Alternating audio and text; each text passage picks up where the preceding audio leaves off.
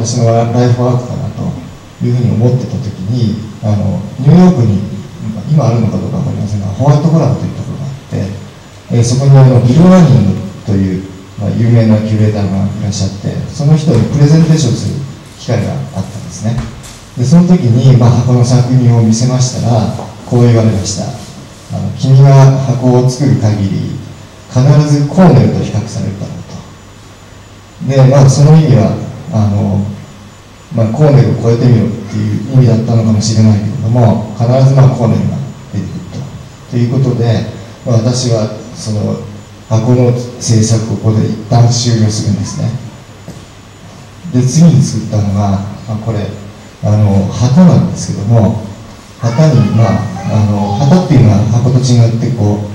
ううなんていうんですかね、えー、しなやかで外に出してメッセージを発信するというようなもので、まあ、これを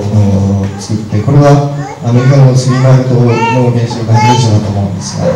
まあ、それをまあ否定的に扱ったものです。で次の、うん、私の一つの転機になるんですけども、えーと、1994年に、えーと、スパイラルで人間の条件というテーマで展覧会がありましたその時に私は人間の条件というテーマに対してじゃあ衣食住で3部作を発表しますということで、えー、プロポーザルしたらそれが通ってでこれは スパイラルホールの楽屋に、えー、展示した、えー、作品なんですけども、まあ、いろんな職業的な制服と言われているものを、まあ、違う色や模様そんなもので作り変えた作品です。で、まあ、ちなみにこの時に、えー、これは食の作品なんですけども、えー、当時あの米米不足という問題があって、まあ、外米がいっぱい入ってきたんですね。で、まあ、日本人にとって、まあ、米というのはものすごい重要な植物ですから、えー、それを題材にして、えー、100% Japanese から100%、えーと、あの imported、えー、輸入米とあとそのミックスという形で、えー、ブレンドされたジュースを作ったものです。でこれは食事の10の部分なんですが、えー、当時あのバブル経済で地価がものすごく高くなって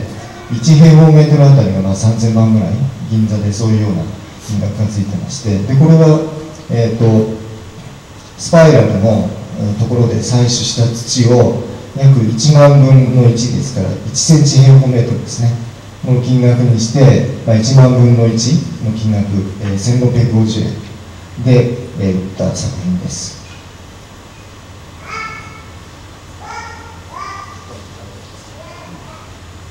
ちょっと駆け足になるかもしれないですけど、まあ、これ以降私はあの服の作品をどんどん作っていくんですがこれはあの銀座の裏通りの1階に面したあの鎌倉画廊今は鎌倉に移転しましたがそこがすごいおしゃれな空間だったのでそれをブティックに見立てて、えーまあ、ブティックインスタレーションとでもいいんでしょうかね、えー、それで作ったあの発表した個展です。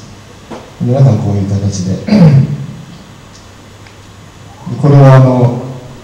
キティちゃんのプリントの男女ペアの作品です。でこれは迷彩模様の男女ペアのスーツ。でこれだけは花柄なんですが男性用のものをこうったり作って展示してます。であとはブティックですからあの試着室のインスタレーションということでこう島模様の壁と全部島にして奥2個の作品島島のストライプ、えー、のスーツを展示したものです。でこの時は画廊の女性スタッフにもこれ作あの来てもらって撮影したものです。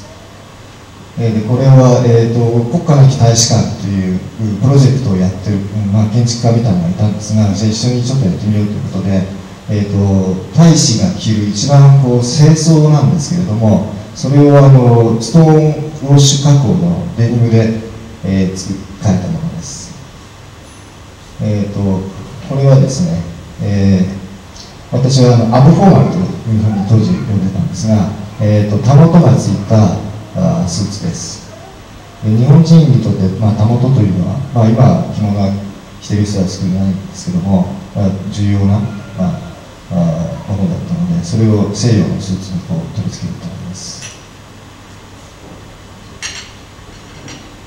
まあ、切るとこんな形になりますでこれがですねえっ、ー、と私の大学院の時にあのお世話になったあの榎倉浩二先生がですね、えー、53ぐらいですよね。あの突然お亡くなりになりまして。でその時にあのレクイエムということで、えー、あの追悼展をやったんですが卒業生たちで。でその時に、えーと、榎倉先生の、まあ、追悼メッセージで榎倉先生の作品を模した、えー、スーツを作ってそこに出展したものです。これは後でですね、まあ、世界の名作シリーズみたいなもののあの発展型になるんですがでまああの時間的に大丈夫ですかね？時間です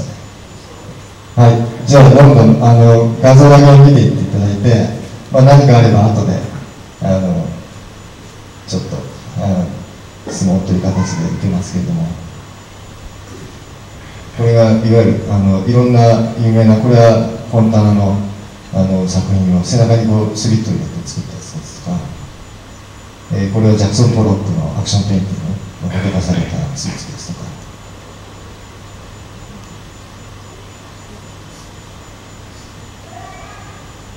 これはあの、えーと、パリに、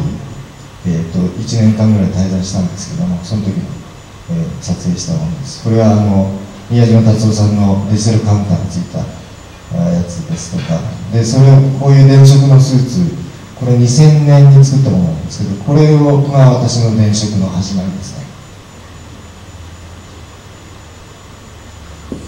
でこれはあの、まあ、ゼブラの、模様の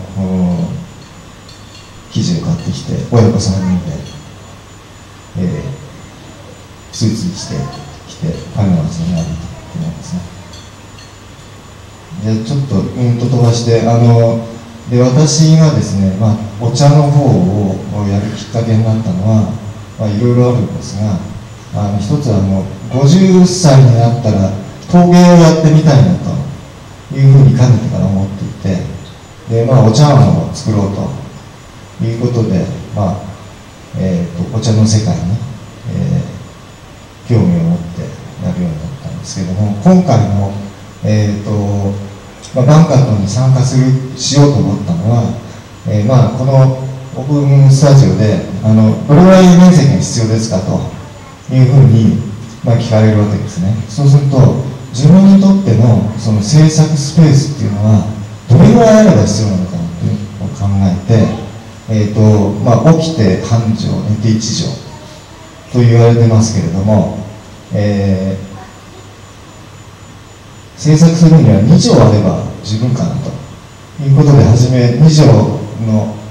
畳2枚引いて、えーと、そこで制作しますという、えー、プロポーザルをしました。で結局はその、えー、2畳っていうとあの千利休があの作ったとされる、えー、国宝の太陽っていうのがあるんですがまだそれ現存してるんですけどもえー、それが2畳の茶数でしたのでじゃあそのそれを私なりに今現代の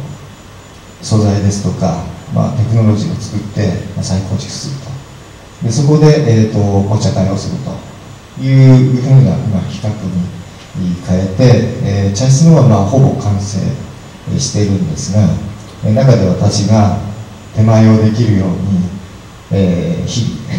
お稽古しています、はいちょっと待ってくださいで一旦切りますか？そうですね。そうですね。はい、はい、えー、草加さんありがとうございます。では会場の質問ああえー、では会場からぜひあの